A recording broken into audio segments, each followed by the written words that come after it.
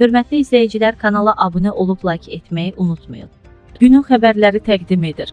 Bakının 12 rayonunda komissiya üzvləri və mütəxəssislərlə birgə qəzalı binalara baxış keçirilib. Ekspert qrupunda Fövqəladə Hallar Nazirliyinin mütəxəssisləri, memar və tikinti mütəxəssisləri yer alıb.